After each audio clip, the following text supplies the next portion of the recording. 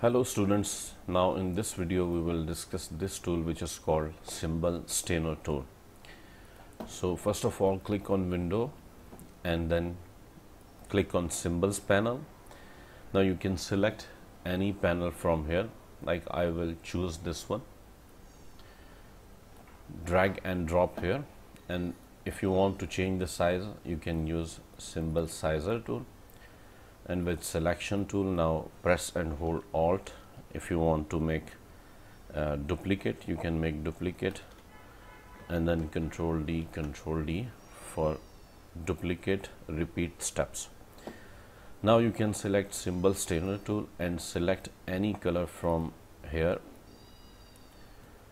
Now an amount of tint of this color you can add in these symbols like if you color if you click you can see.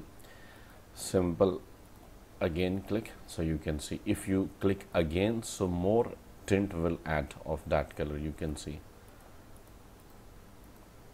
So these two and the difference you can see like we clicked twice here and here we clicked one time. So the amount of tint of that color you can see added here.